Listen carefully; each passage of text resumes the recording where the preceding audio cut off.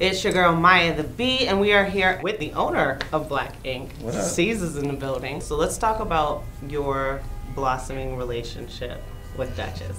How did okay? How did that start The Alex situation. when you saw her ready to?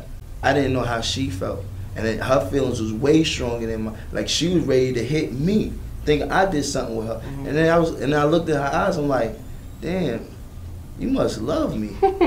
Um, what Alex does is like to fit in the mix. Right. I hate to call her a mixie, but that's kind of what you showed us you were. You Right. know, like in the beginning, I thought you was down for the business, a businesswoman, Right. like myself. Have you had any relations with Alex? Me, Yeah. person, no. No. Besides saying, "Hey, what's up to you?" No? Negative.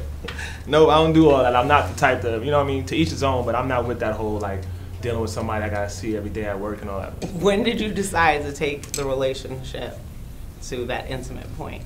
There was never a relationship. Okay. Like she was a coworker. Things happen.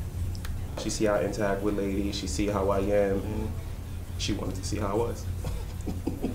Honestly, I thought that we were gonna be like together. I thought we were gonna be like a unit, and then Really? next thing I knew, she was all in the bag, all up on Ted, and I didn't even know about it until later on. I heard, I overheard them talking about it, and I'm just like, oh, word. So you guys did your thing in that office, or like, yeah? Mm-hmm. Mm-hmm. Did you tell him at least, like, I smashed the homie? Yeah, after it was done. What did he? How did he feel about that? I don't know.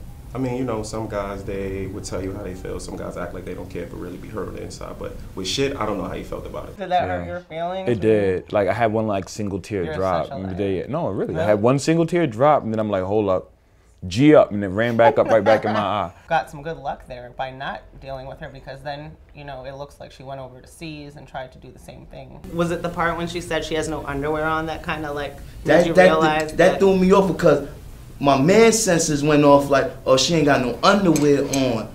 Let's go. And I'm saying there like, nah, this feels wrong. I didn't know to that point how I felt about Dutchess. And then when that shit happened, it was like, nah, I ain't gonna do this to her. This is her friend.